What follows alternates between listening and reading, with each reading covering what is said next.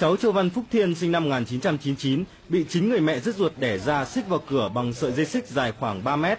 Trên người cháu nhiều vết cả cũ lẫn mới, có chỗ đang dỉ máu, đặc biệt là cánh tay bên phải của cháu đang bị sưng vù. giờ quấn này tôi qua tôi can này lấy cái cận bàn nó quấn này này nó cắn này. Nó quấn là máu thương tích máu đây này đây này đây này máu đây này đó là máu đây nè là máu đây là tôi biết được biết còn mấy chỗ này là tôi không có biết. Nó quấn bằng đêm hôm tôi không biết. Còn mấy đây máu đây này với cắn này là máu đây này. Đó đó là máu máu đây này đó máu thắt phò đây máu đây đây máu đây này cắn là máu đây này đó tôi thấy sao nó vậy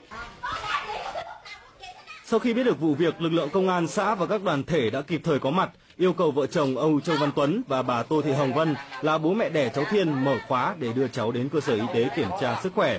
Nhưng vợ chồng Tuấn, Vân không chấp hành và chống đối, buộc cơ quan chức năng khống chế đưa về cơ quan công an. Lúc ấy bà Vân mới chịu mở khóa cho cháu Thiên.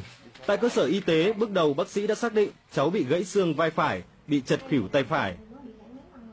vậy là thời gian cả lâu ở đây mình có bị thì chị cho biết cái tình trạng của cháu sức khỏe bên này thế nào bây giờ bây giờ bây giờ cháu nó đã nó nó, nó mệt mà nó đang nôn mửa còn cái tay của cháu tay gãy ờ, xương vai mình ờ, tay tay tay tức phải. Ừ, tay phải. Bị gãy tay gì? gãy xương vai. Ừ chỗ đây nó cái cánh tay này là cái, cái cẳng cẳng tay này đây đang sưng này à, tay tay phải sưng nữa này Cháu Thiên năm nay học lớp 7 nhưng cơ thể gầy gò, ốm yếu so với chúng bạn cùng trang lứa. Sự hoảng loạn bởi những trận đòn khiết đảm của người bố vẫn còn in sâu trên khuôn mặt của cháu.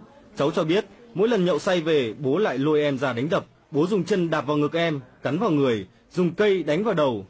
Ngay cả cái áo em mặc trên người cũng bị xé rách và đây không phải là lần đầu cháu bị hành hạ như thế này.